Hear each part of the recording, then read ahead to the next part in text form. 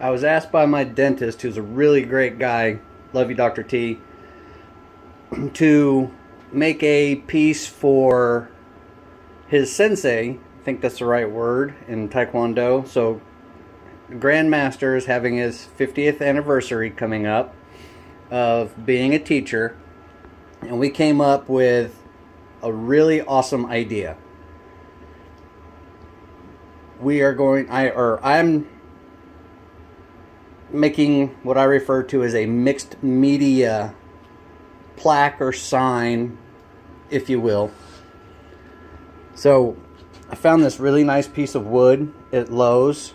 Everything up here, there's a reason why I've chosen the materials that I've done.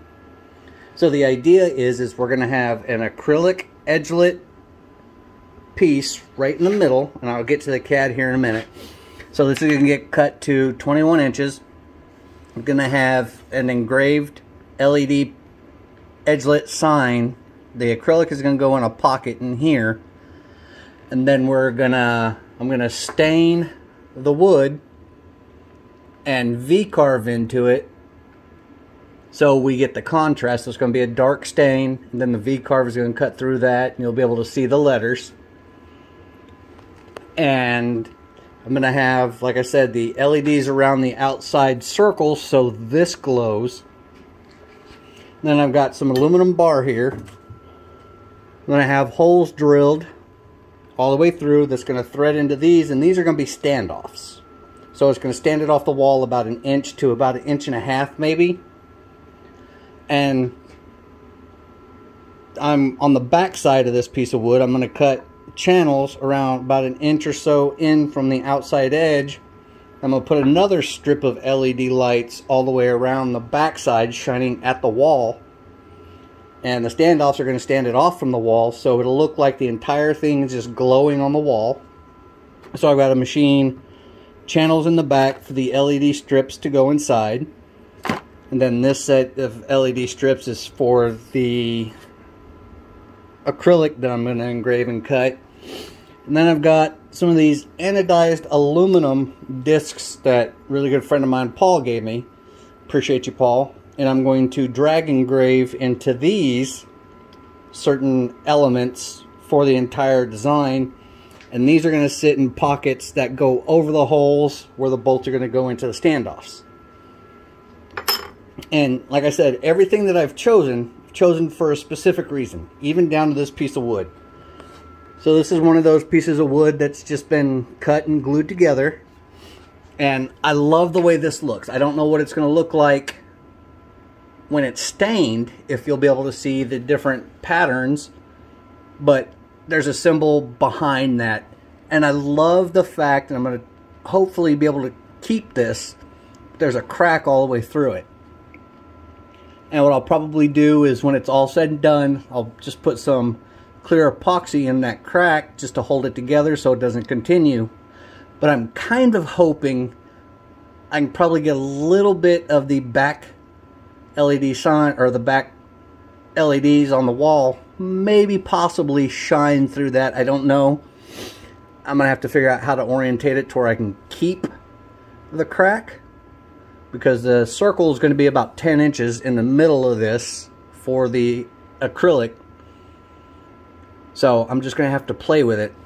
But the idea behind this is I love how small pieces can come together to make a larger, strong piece of material.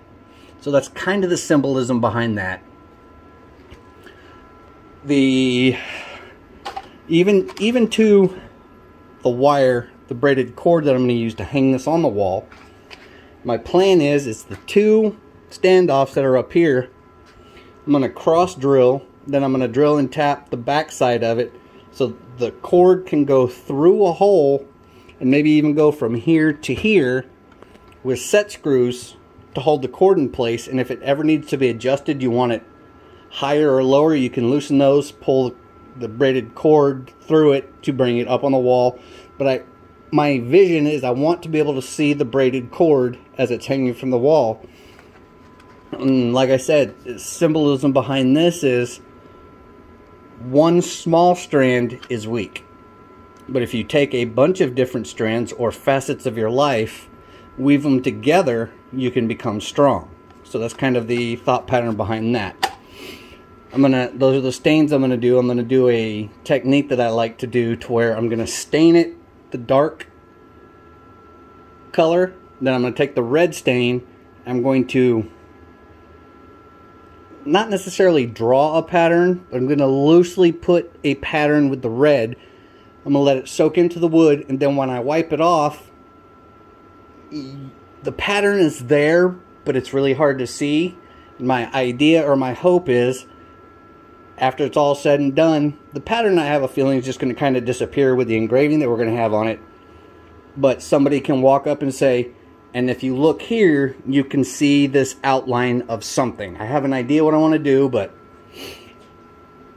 So we'll just have to see how that turns out. It may turn out, it may not. I've had a little bit of success with it in the past. So let's get over here and look at the CAD to give you a better idea. So this is that board. Stained and then cut through. We have the seven pennants of Taekwondo here and the idea behind having this is when this piece is given to the Grand Master, I want it to look like or have a visual representation of who this man is. So here we can see the cutout for the circle, which is going to be that. It's going to be engraved into the acrylic, so it'll glow when the LEDs are turned on. And one of his sayings is practice does not make perfect. And then if we're over here, if we look, it says perfect practice makes perfect. So here is the two and a half inch circles and the holes through it for those other plates to fit into.